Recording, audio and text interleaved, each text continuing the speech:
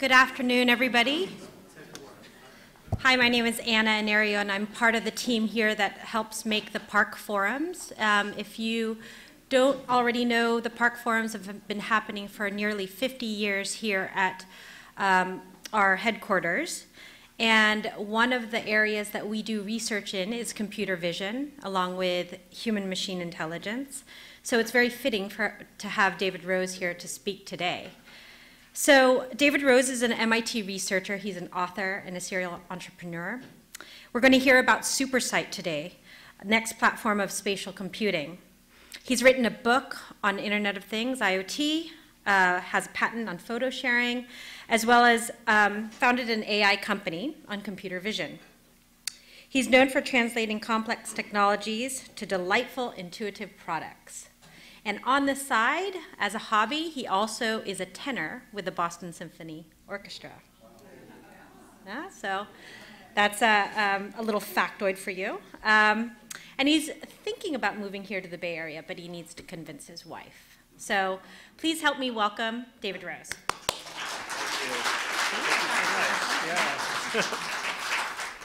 Thank you so much for inviting me. Um, you, you, know, you don't have to be very good if you're a tenor, because you're because you're scarce. Then, uh, I'm delighted to uh, uh, to present some ideas that are fresh and uh, get your feedback on them. I think we'll have time to to chat at the end. Um, uh, they're controversial, and I think they're kind of the things that we should be thinking about as we consider kind of this next wave of computing. Um, and, uh, but to begin with, you should appreciate your eye. It's an incredible thing.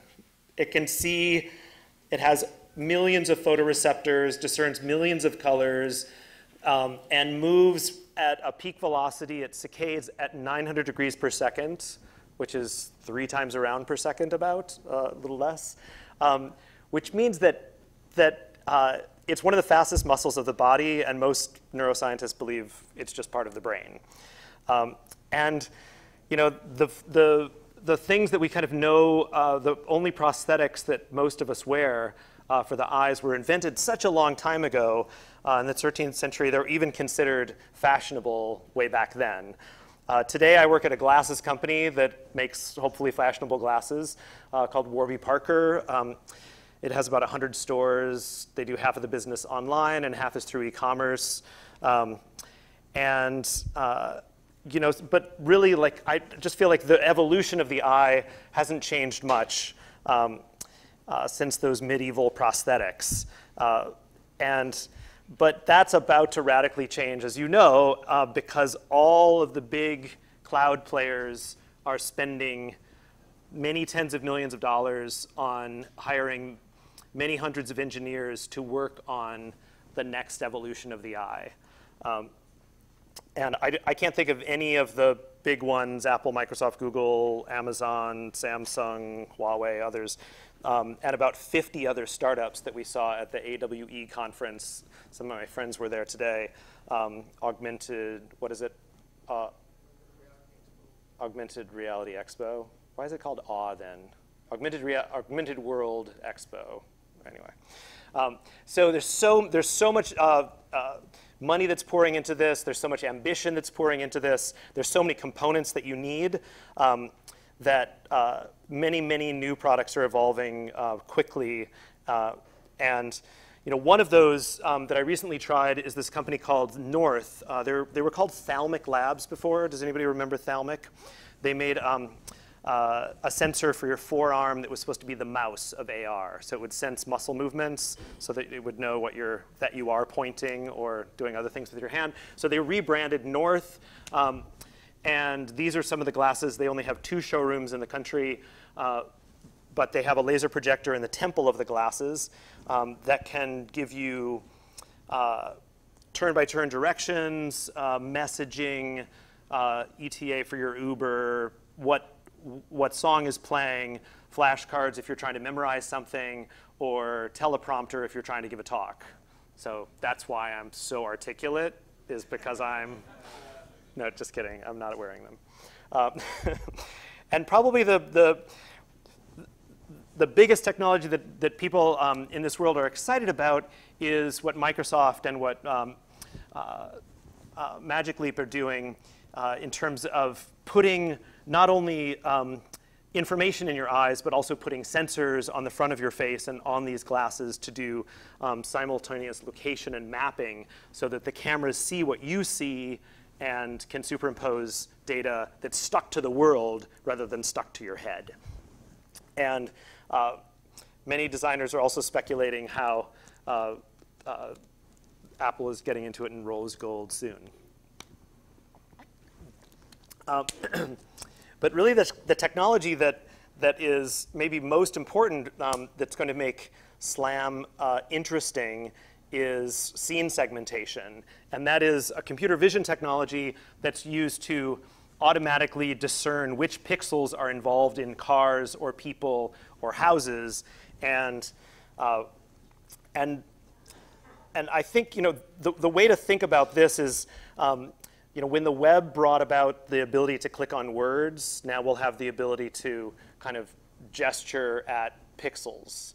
So the semantics of what is seen in front of us will be discernible, and the verbs will be attached to those things that are in our, in our field of view. Um, and the verbs might be uh, learn more about that thing that I'm looking at, or uh, how do I get to there, or call that thing, or watch a preview of that, or a uh, history of that thing, or connect to that person, or donate to that cause, or person or um, bookmark that thing. Um, so I, th I think that's like the, that's a profound difference in how we think, you know, how, how computing happens and how it's, how it's spatialized and stuck to the things around us in the world. So tonight, I want to kind of tour through, I think, 10 um, uh, benefits that spatial computing hopes to provide to us and kind of consider those and, and then some of the downsides. Um, so they kind of go from the personal scale to the communal scale and, and interaction scale to the city scale or even uh, uh, satellite scale. Sound good? Uh, so the first, the first hope uh, or benefit, I think that that computer vision um, can provide is just the ability to label, to label the world around us, to label the people um, and the objects uh, and the things so that you know, we, this will be kind of a new cognitive crutch that we all have to not have to remember anything anymore because it will all be uh, done for us. Uh, kind of uh, the one of the positive ways that, that we're seeing this already, um, uh, an app that I really love is called iNaturalist. Does anybody use iNaturalist? Yeah, good. Um, so it uses computer vision, so you can uh, label the bug or the bat or the heron. Um, and then they have this kind of workflow where it's casual grade recognized or, or needs an identifier or some expert in the field has, come, has, has taken a, a, look at your bat photo and the results that the classifier provided and said, yes, that's truly a um, great blue heron. Uh, and maybe the most interesting thing is the metadata that's attached to that, which is by location. So I live here in Brookline in Boston, uh, right adjacent to a loud air conditioner on this Holiday Inn. Um, right, right here. And, uh, but you can see the interesting stuff that's happening from a, from a naturalist perspective is happening over at Amory Playground, where lots of things are being identified. So you can kind of, it's a way of finding the, uh, naturalist hotspots around you as crowdsourced by, by everyone else. Uh, the, next, the next hope that I think um, kind of SuperSight might provide is this idea that you know, we will never really be alone as we pass through the world anymore. It's kind of a funky one, funky one. But once the world has these uh, labels and actions, I think now we can kind of consider that the glasses that we wear can have a set of, of, of coaches or services that might be able to assist us as we move through the world. Um, and uh, one of the examples that I really love from MIT um, was this uh, project called the Mood Meter, um, where people um, in public spaces all around campus uh, see um, a, a display and they see how happy they are as, as classified by this, um, uh, um, by this projection. So uh, in a way, like it's a way of seeing like what are the happiest buildings on campus, what are the happiest groups on campus, and also what are the happiest times, or you know times of day or times of year. So one of the things that we've learned, you know, is that people are get really grumpy at exam time, uh, but when there are more than a couple of people around, usually the happiness of a place increases because just as people look at each other, we kind of tend to smile. Um, but so these, you know, these agents, I think, will not only understand what we're seeing and labeling what we're seeing, but also understanding the, the, um, uh, the mood of the people that we're interacting with and help us to be maybe more empathetic. When I say supersight or when we think about AR, um, I think, you know, I've, I showed you pictures of glasses as a, as a, a projection plane for this information. But uh, the, big, the big news from the conference uh, today and yesterday was there are a billion people that are already using this technology. And you say, what? Like, why are a billion people using glasses? No, it's a billion people that already have smartphones or tablets that have these toolkits of AR Core and AR Kit uh, that are allowing these, um, uh, these use cases, as, as awkward as they are, to kind of hold up your phone as you're shopping or whatever, there's still a, a way to prototype what this world might look like. And I think there's another couple as well that we should consider. One is the kind of see-through world, which is the two people standing side by side and having a shared augmented view of something. Um, and then the group around projected light view of AR, which I think is also AR. Um, the one that we've been working with at the Media Lab in the City Science Group is a projected AR view of, this is Kendall Square where MIT is. Uh, we built a Lego uh, model of Kendall Square. There are tags on the bottom of the building so you can move them around. And then you see an agent-based model that's calculating walkability scores or perception of risk at night if there's no one around, or traffic congestion, or access to amenities, or diversity of the uh, uh, cultural diversity, or rent prices. Um, so all of those extra layers can be projected on this physical model of that, of that space. Um, and to, me, that's really, that's, that's kind of an exciting use of AR because it's communal. People gather around this model and have arguments about the city. Uh, and, and the kind of other, other AR layers um, are starting to pop up on sort of everyday objects. So this is a startup called Mirror, and they kind of give you a yoga instructor um, or a boxer to mirror your, uh, your workouts in, in your house. Um, and uh, I'm working with uh, this company called Hydrow, which is trying to do the Peloton for rowing, which also is kind of a type of AR, um, where this is a, rather than just seeing a, um, a, a, Concept2 display that shows you stats, you're actually kind of projecting yourself into the body of this Olympic rower as you sit there doing your doing your rowing, and she's on the Charles River on Lake Winnipesaukee in New Hampshire, and it's you know it's it's beautiful, and she's beautiful, and therefore you're beautiful because you're like you kind of teleported into her somehow, and but it's kind of it's I, to me it's a another type of AR, but again this I mean I think of this as kind of powerful because it's a never alone experience. You know, someone's someone's always with you and helping you do your work. Uh, my, my friend Salvador um, has a company called MemoMi. He's sitting where? Where are you, Salva? There. Um, that helps you uh, design your style or helps pick the right uh, fashion for you when you're shopping. So they make, a, they make another AR, which is really compelling, um, where if you're standing in front of a mirror at Neiman Marcus, you can see previous outfits with a swipe of your hand. So you can see real time or previous time. Um, you, also, if you're in Uniqlo, you can also see, uh, you can swipe to see different colors because they have like 87 colors of the same um, sweater, sweater. So you can kind of go through them rapidly without muffing up your hair. Um, so, but again, this is kind of a, um, a styled wish that we have to, um, to get some help uh, that AR can hope, hope to satisfy. Um, so at Warby Parker, we've been doing a couple of projects. A year ago, we launched um, a, a, project where my team use the face mesh that's given by the um, iPhone 10 camera that unlocks your phone. Um, and we could determine uh, pupillary distance and nose bridge height and how wide your face is. And we could recommend frames that were purchased with pe by people with faces like yours. So we didn't, we didn't, we used historic data for who purchased which, who purchased which, who purchases which frames and doesn't return them, and then used that as uh, the basis of a recommender system. Um, but at that point, we, we didn't have enough 3D models and textures in order to do what we just launched a couple of weeks ago, which is uh, actually a couple of months ago, which is um, virtual try-on. So here's me with Hughes Narrow, um, and there's me with Hughes Narrow. So it's even more compelling if I use the, if, I, if you do the, the same color as you're wearing. You kind of, you can see how the, we worked a lot on the positioning algorithm. Um, and this maybe is one of the big uh, success stories, at least um, shopping is one of the big success stories for like why will we use, ever use augmented reality?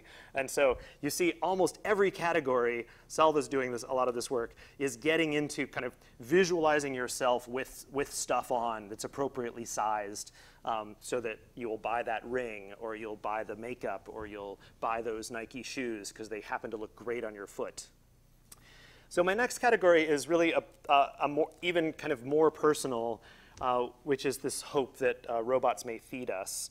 Um, I think this is a, a concept video, but it, um, it's intriguing to think about what form factor these robots will take in our kitchens. Is anybody working on this? The chef, more of an robotics for the home. Really, comprises two robotic arms above a large cooking surface, including hobs, it certainly takes a lot of vision tech and also a lot of grasping tech. I think this is how it was done. Uh, the training, the training system was was parroted by a data glove worn um, aspiring chef. Um, I think it's probably more likely that the use case for cooking for you or growing for you um, will be one where you kind of think about these computer vision systems as, as these infinitely patient eyes that are only willing to do one job for their entire life, which is to look down at your, at your salad or your whatever you're growing and um, make sure that the, you have the right amount of, uh, of water being, or juice being spritzed up at your aeroponic um, plants. Uh, but the advantage is that you know, they have more patience than you will ever have to make sure that your plants are thriving, so your plants will grow really fast Just kidding. These are not, these are not real time, but they might be. Um, um, so another, uh, another uh, benefit, I think, of computer vision that we're starting to read about almost every, uh, every week is um, how much they are uh, changing the world of and the jobs of doctors. Um, just uh, MIT CSAIL last last week announced that they can predict breast cancer from mam mammography better than human experts. We kind of keep having these better than uh, events and um, that are cascading across the, the medical world and really um, kind of calling into question uh, what radio, you know, how radiologists will do their workflow um, differently with these, with these systems. Um, there's there's a, a, company that I'm especially excited about that's doing this for um, dermatology, and the reason that I'm excited is because um, a lot of people uh, suffer suffer from skin conditions where there, there's a stigma associated with taking a picture of that part of your body or you know, dropping your pants in front of that person that to look, you know, to your dermatologist in order to look at that part of your body. So I think these, these kind of um, rashes uh, uh, are a good use case for computer vision uh, because people might be, might feel like they're, um, uh, I think security systems are important in this case, um, but they can get answers to the questions that they have um, through computer vision. Uh, the next one I, I, is kind of a mashup for me between, uh, between the exciting world of gaming that is spreading out and being spatialized all over our world. You know, two or three years ago, Pokemon Go was just this phenomena that, um, that changed the way people walked all over Boston. There were packs of crowd, you know, crowds of kids that were that were going down the street and you said like are you protesting something? Like what's like what's happening? And they're like no there's like a pokemon stop and we can get uh, pikachu right over there. Um, so uh, you know the big game companies uh, minecraft earth has just been, you know has, has been announced and soon will be all over your neighborhood you know my, these things populated all over your neighborhood and the the wizarding world of harry potter is also coming to uh, to uh, a temple near you um, and uh, for me, this, this um, kind of the consequences of this uh, will mean this that, that the world of gaming and the vernacular of gaming and how you think about what you do um, will not only be gamified, but it will feel like a game. So at this conference today, there was a big company, PTC, Parametric Technology Corp. They compete with um, Autodesk and Dassault Systems, uh, and uh, you know do CAD CAM. But they're very interested in AR. But they've hired a bunch of game developers to help show AR what how, how the machine is broken, where things where what the process should look like, where the danger zones around a machine are, and it, it looks just like it's right out of a video game, but it's an industrial use case. So that's like it's interesting how there's this fusion. And um, has anybody uh, ha- does anybody have an Android and signed up uh, for this for the beta uh, new beta of Google uh, Maps? Have you seen the Red Fox? Okay, well, apparently the world of maps is changing. So instead of like, since the days of the pirates where we had like a plan view of a map, here's the goal, you know, the treasure is over here, but everything was like looking down at a map. Now the way we think about mapping is like a Pokemon. It's like you just follow the red fox. Where do you need to go? Like, we're not going to give you a, a, a view any kind of context of what the layout of the airport is or the building or anything. You just like follow the Pokemon character will be the way that we trail around the world.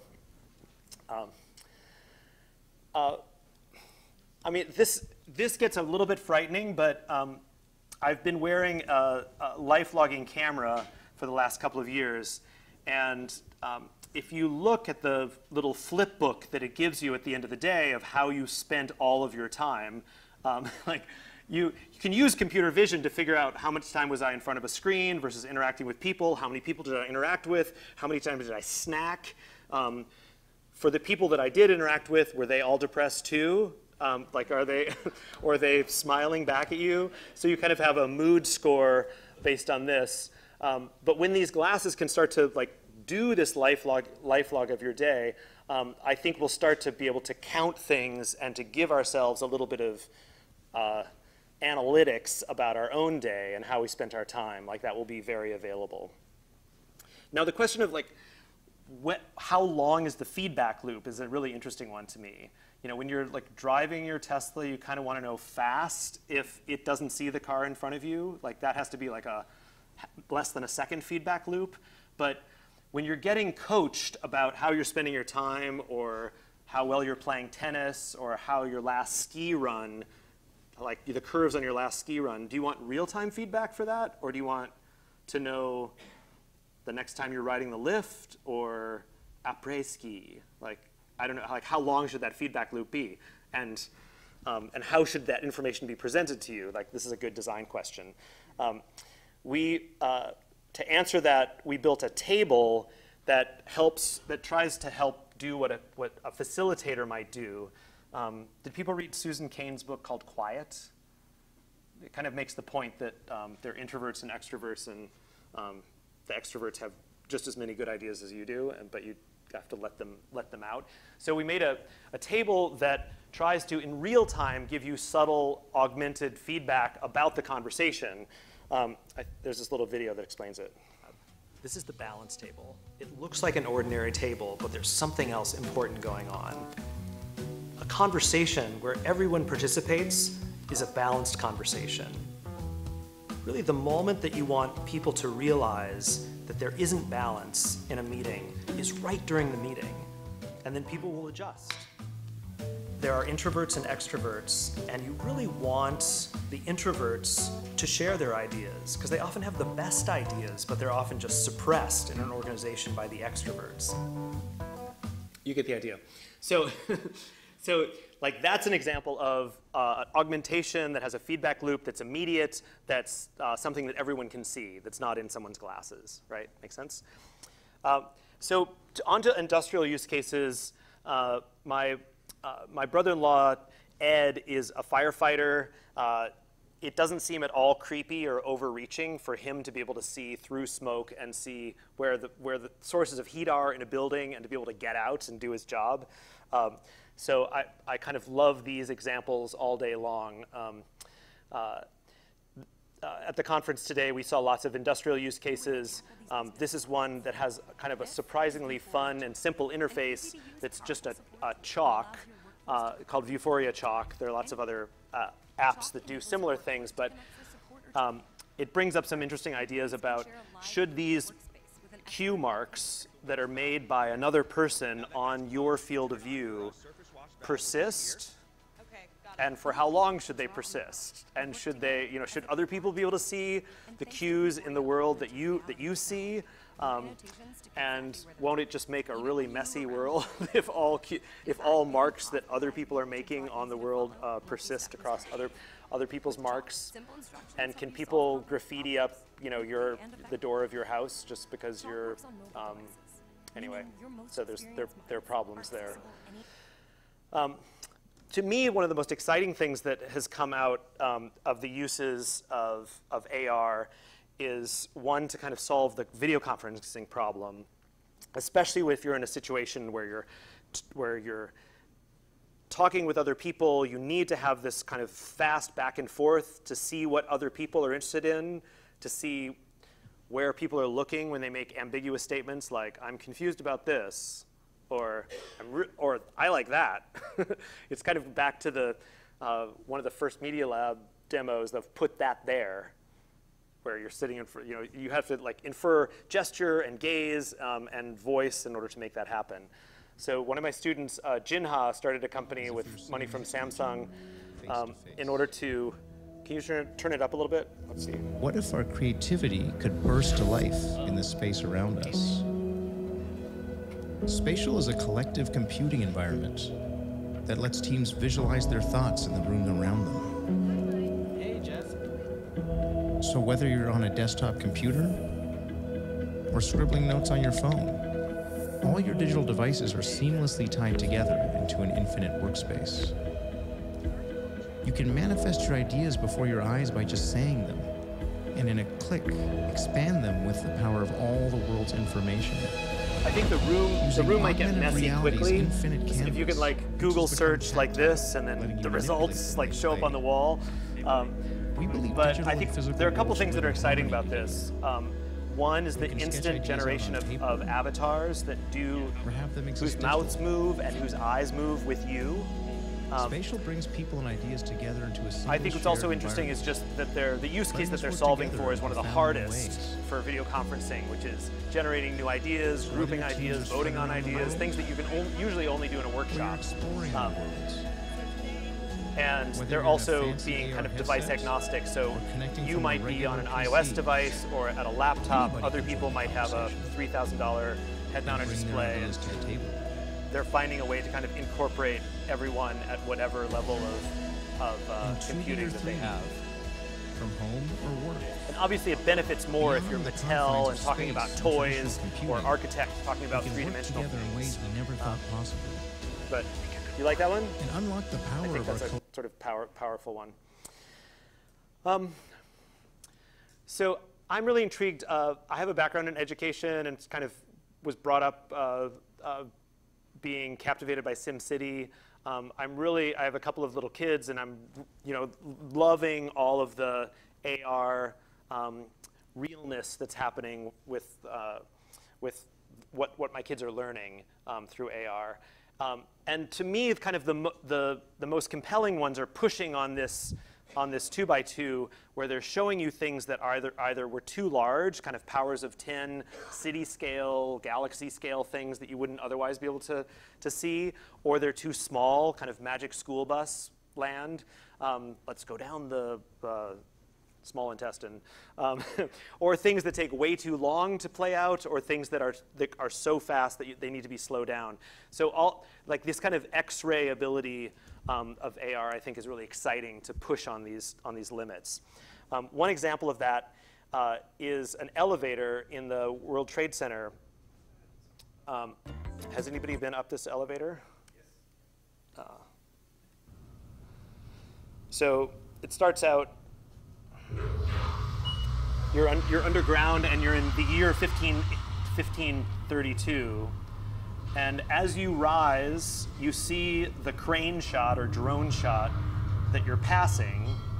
So there's a one to one, but you're also passing through forward through time to see the, the city as it's as it's developed. So there's something really elegant about that, right? Because because because it's the it's the glass elevator fantasy, but it's also the time travel, and they've kind of put those two ideas together. But then it's somehow more believable than just being in an AR, a VR headset, because you actually are captive in that elevator. You should look for more of these, like more of these kind of uh, examples. Um, I also like this one because yeah, it's another one that's kind of gluing the information to. Uh, best teaching and learning happens when the children have to got your that chest, like in a way that's really real things happening around them. compelling and resonant. We've now gone from You could argue that maybe now that should just be an iPad app, but somehow like cooler if it's on the base of the body, um, and you're able to like peer into the chest. Uh, one of one of my uh, I mean, Google Translate is awesome. This is the kind of like Google Translate for music. Uh, this is my daughter's cello piece, and we were, she was having a hard time with these uh, 16th note triplets. And uh, so we found an app called Music Scanner, and uh, you basically you, you take a picture. Um, this is a little bit behind, but uh, you know, basically it like plays the piece that it that you see in the um, the, you, the sheet music becomes uh, transcribed, auditory. Uh, and we're seeing museums do this, which I think is another uh, nice place for, uh, because you can hand out iPads and do this in, in museums. But what about cars?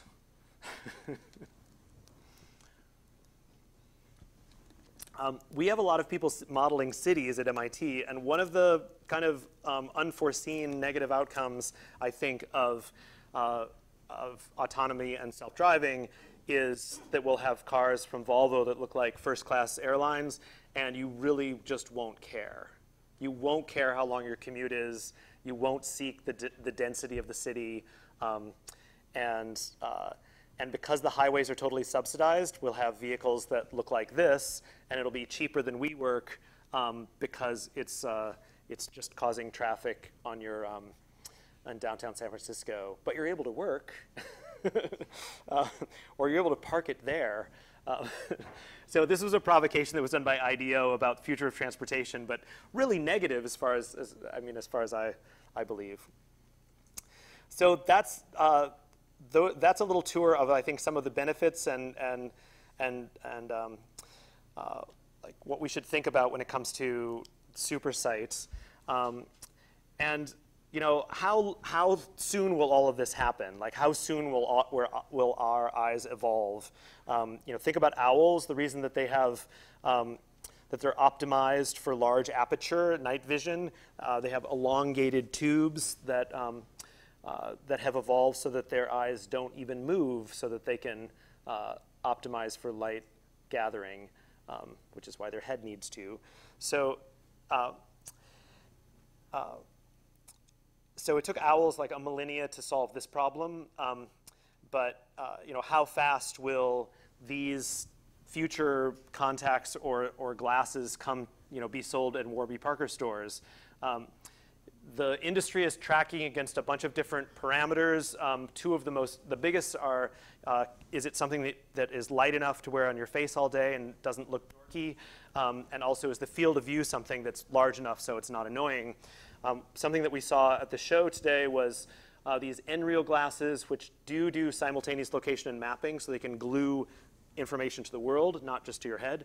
Um, large field of view, small enough, and uh, and I think one of the big uh, uh, disruptions is going to be one where you don't have to have a controller anymore, where you, you know it can do fine-grained um, tracking of, of hands and grasping, um, so that you can interact with the world as we talked about.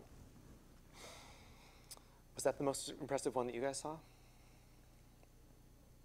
Okay.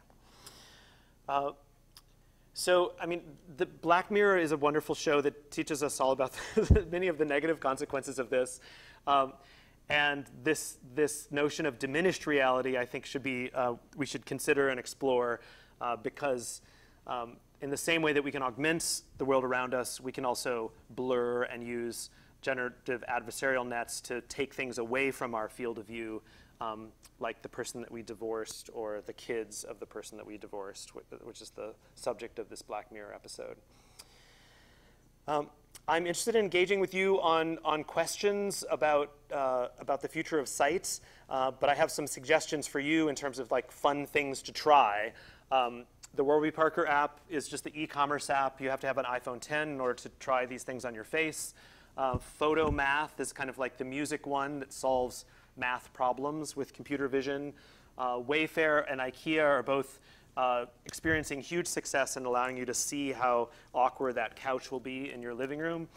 Uh, Living Wine Labels is a, is, is a nice uh, app that shows you um, wine labels come alive and uh, tell you their tales. Uh, let's see. Shark for the AR Shark is a nice uh, quick one. A music scanner I showed you, Google Maps, and if you have rashes that you don't want to talk about. Thank you very much.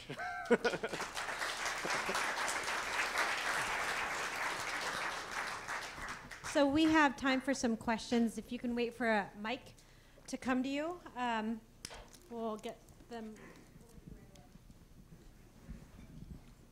So how soon before one of these giants like uh, Facebook or Microsoft, well, Microsoft's not going for it, uh, Samsung or Apple, okay, ship something comparable for the consumer like the iPhone?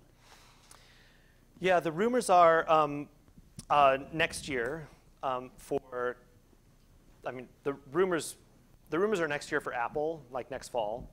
Um, I don't know whether that's true. Uh, I can tell you that like all of the all of those companies are putting the tools together to enable right? So there's so in, on Android, Android and Apple, there's AR Core and AR Kit, which make it easy for people to author 3D content. Um, there are um, Facebook has a Facebook Studio, which allows you to easily like locate things in space or locate things on people's person. Uh, uh, those, those are at least two of the important kind of enabling technologies. So all, the, all of the big platforms are working on the enabling technologies, making it work on phones now, and then uh, the kind of the interesting uh, business question is how walled will their gardens be? Um, when you know when Apple comes out with something, will there be an app store on your face, and who gets access to the app store? And can you leave persistent marks on your lawn? Can anyone leave persistent marks? like the Vuforia chalk example. Like, can, can a game company put games on your lawn um, or in your place of business that other people will see?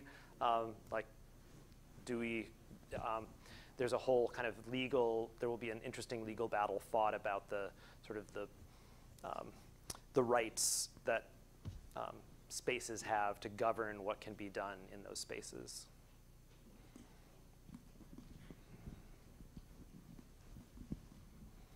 So I have two related questions. First is, um, I don't know if you've read uh, "The Age of Surveillance Capitalism" yet. Uh, I heard the I heard the inter- the interview, but I haven't read the book. I highly recommend it, mm. and certainly the potential for the kind of information that might be gathered by using some of these visual mm. systems mm. mm-hmm. to be used in a kind of surveillance sort of way seems great. So I'm kind of wondering your thinking on that. And the other great is, means sorry by by uh, when you use the word great, you mean uh, large. Large. Right, yes. yes. Right, yes, I, I yes. that way. And the other thing is, uh, you know, in trying to kind of go beyond the okay mapping and you know even product suggestions and whatnot, mm. really looking further out. I mean, it seemed the thing that you touched on that has the greatest potential, potentially, if it's controlled by the user, is the kind of the coaching Mm. thing where something could be observing what you're doing, your diet, your activity level, or Mhm. whatever, and Mhm. making useful commentary. But then, of course, it comes back again to who owns that information. Is your insurance company going to Yeah. know whether you're going to the gym or not, or Right. is it just going to be information you're using privately? Yes. Yeah, I mean, something that we're seeing um, that seems very intrusive, just viscerally, is um, a lot of the new headsets can look at your can look at what you're looking at, and and not only what you're attending to, but also like the dilation of your pupil, the how your eyes saccading around, um, which can be like machine learned to figure out emotional states. Um, they're using it for customer research now, so that you can put on glasses and look at an apartment or look at a car, and without, and subconsciously, the system figures out sort of what you're drawn to, and I think, or, or to ask anyone. Like, there's no talk out loud protocol anymore of like, tell me where you're confused with this system. It's just like that can be divined in, not a divine way. Yeah. Um, I'd interested in your sh- thoughts on sort of the social implications, and we already have distracted driving or distracted walking, or this is just going to make things much worse that way. And uh, do you anticipate there's going to be legislation for, you know, getting fined for walking around a city and bumping into things? I mean, it seems like solitude is going to become a rarity anymore. Yeah, I, I, I, I'm, I think you're right. I think it's going to be like a cacophony um, mostly, although there's the diminished reality argument, which is like maybe more things will be like a walk in the woods if you, if you so decide. You know, I mean, maybe, maybe, maybe we'll have a more, a, a more calm. There'll probably be an app for that if you want to, you know, if you, if you want to hide the things that are less interesting to you or that aren't uh, lifting you up in the right way. You know, can, all that can just be dis, you know disappeared. Um, I do think it will be continuous connection and continuous coaching and continuous, um, and it will just, you know, the things that were on your phone that you were glancing at, you'll decide, do they go here? Do they go here? Do they go here? Um, or do they just tickle your ankle with the haptic ankle tickler? but they will be distributed out across these, you know, mul- these multiple things and rings. Yes. Um, I think there's an interesting challenge with like all of the really cool things you can do involve having a camera on your face at all times, basically. But it's kind of like building on the previous questions. But how do you think we or people who are excited about this tech are going to actually start um, in terms of solving like the trust and the privacy issues? Because it's like it's, it's like all the cool stuff comes with like massive implications. Big tech right now isn't particularly known for how it handles those implications. So like, do you think it's going to require indies or some specific use cases that like more intense or can somehow justify the privacy cost? What are your thoughts on that? Yeah, I mean, I've been clustering the problems, but not solving them. so, like my my clusters of of like the six categories, you're you're touching on a couple.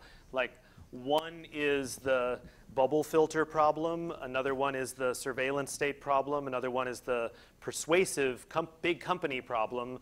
Another one is the equity and access problem. Another one is the we'll get dumb about a lot of things, cognitive crutch problem. And the last is the it's going to be like the 60s, um, like it's which was your kind of like it's going to be crazy, like all like all of these. Uh, all of these layers of information brought to you by different brands, you know, are, are going to be something that it will be possible, and who like whose job is it to curate those that possibility? Um, and I, I don't know. I mean, Google Glass is interesting because it's one of the few technologies that, as a society, we've really rejected, right? Like we've, like, can what's your other favorite example of a, of a technology that as a society for privacy reasons that we really decided, um, or social interaction reasons that we really didn't embrace. What Flippy? Clippy, yes. Oh yeah, Clippy. Also the clapper. I thought the clapper was pretty cool. no, can someone come up with another example of a of a rejected tech that was rejected for it's kind of a privacy or social interaction motivation. Yes, genetic testing. Was it? Why, why did we reject the Segway? So it was a fashion rejection. I mean, it wasn't just reborn as, as electric as Bird and Lime and those guys. What was?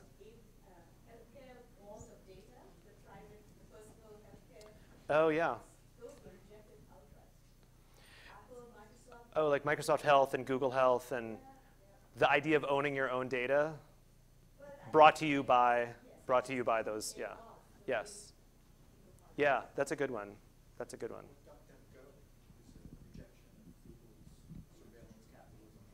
mm.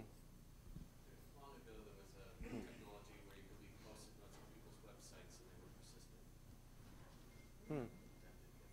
Hmm. I see. Like a persistent note. Yeah. Yes. So I was thinking that maybe that with that technology, may, if you can see many different things, like that might be a real a really good field for advertisement. Like if you look at a chair, you might be able to see the different brands of chairs and um, how what do you think that would do you think that people would how do you think that people would react to to ha- to seeing advertisements all over their view? I wouldn't. That's a really good question. Uh, I do not want advertisements all over my view. I mean, I I I started a company called Ditto that tried to do kind of a pervas- pervasive bookmarking or shopping interface, and that was rejected. That's another one was rejected. But that I didn't think of it. It it, it is a e-commerce mechanism, but it wasn't really a advertisement mechanism. Um, I don't know. I think it's kind of a fine. Like, what is the line between having something labeled so you know what it is, and have and advertising? Like you could say that light was you know designed by uh, Jean Prouvé and it was done in 1963 and um, it's available at Design Within Reach.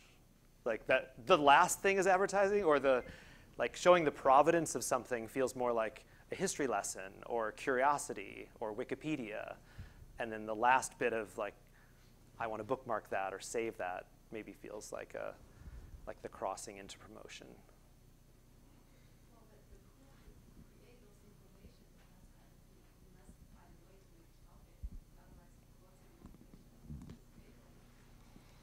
Yeah, I, I, um, I'm still surprised that Amazon is selling uh, ebook readers. They should just be giving those away. And I think in the same way, you could think of a totally sponsored model for all these uh, headsets that are now $3,000. That'll be $300 in a couple of years. Um, they probably will be free if there's enough uh, pervasive ads that you know brought to you by your biggest ad uh, channels. Um, yeah.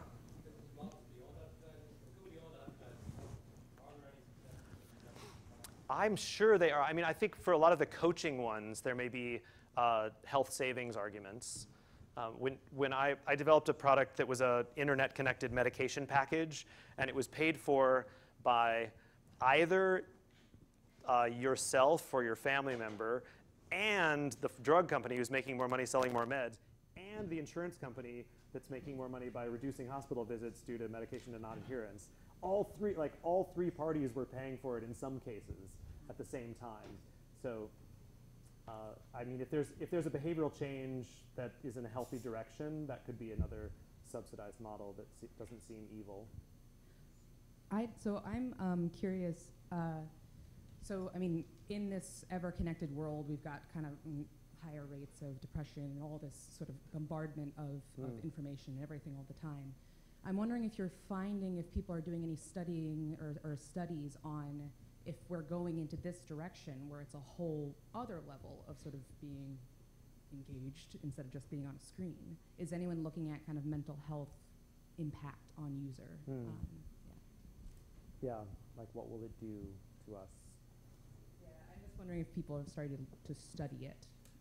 I don't know. Yeah, I, I mean, I think there are a lot of people that are studying like what the phones are doing to us and shortening extension attention spans and and reducing empathy in kids, um, and I'm sure that those will be magnified when we can, when we have blinders on. Um, but yeah, I'm not sure. I mean, in my own. Um, I'm really conflicted about the like on one hand it's very exciting to think about all of the all of the positive uses on the other hand like how many people next year if they weren't too expensive would want to try a smart you know wearing smart glasses around not for a specific architectural task or rendering task but just as kind of a like I'm going to a new city and want to want to experience it in a different way? Most most try it? Yeah. Hmm. Shall I go now? Okay, so um, in the um, glasses, so it'll show the world and it'll also show the things that you want to look at. Like, how is that possible? How will the screen come up? How, how does it show inside the glasses? Mm. Well, I showed you that first example. Um, there's a there. Uh, these glasses use a uh, a projector that's concealed in the temple of the glasses in order to project something onto the surface of the glass that your eye then sees superimposed. You see through this onto the rest of the world.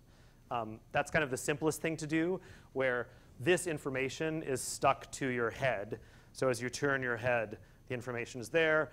And the other technology that we talked about, the simultaneous location and mapping, is one where there are cameras that are seeing what you're seeing and labeling what you're, what you're seeing and figuring out the boundaries of things and how far they are away. Um, in the same way that Microsoft Kinect could kind of draw an outline around your body and see that you're you know, gesturing or doing Dance Dance Revolution. So it's kind of doing Dance Dance Revolution on everybody else. uh, and then it can it knows what those what those curves look like or those paths, and then they can have like something can pop up from behind that guy, but it would be in front of that guy. You see what I mean? So that you can, and that thing can be cast out of focus as well. So just like your eye has can rack focus back and forth between reading and between seeing in, at infinity, um, the things at infinity when you're reading would also be out of focus, even if they're generated by the, by the projector. Yes. Let's do, let's do one more. Yeah, let's go one have more a question. Wine or something.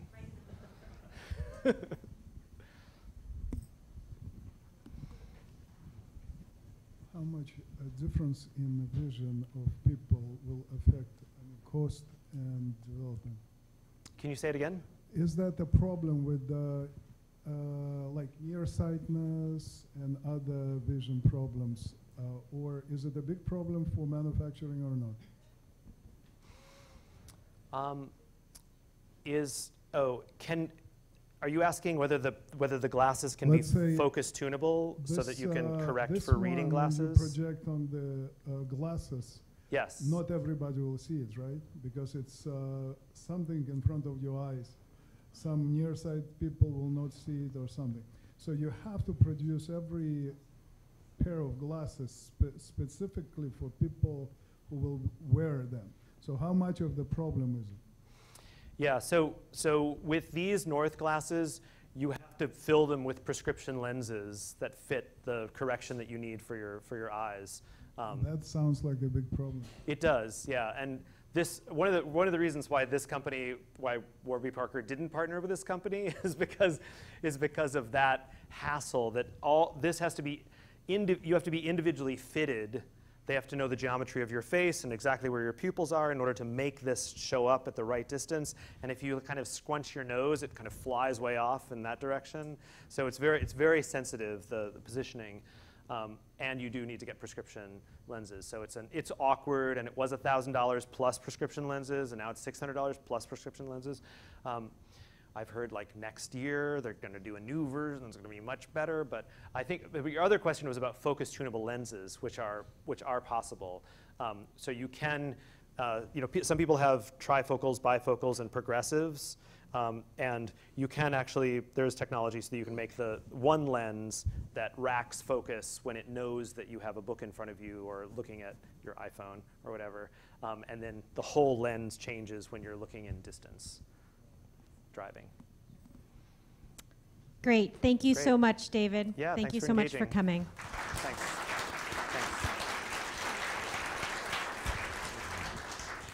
So just so that you know, in two weeks' time, we have our next forum. It's David Henkel Wallace, and he has founded a company called Leela, and it's based on um, an AI agent uh, for child development. So uh, please register online. It's uh, looking like it's going to be also um, a good forum to come to. So again, it's available already for registration online. Thank you very much.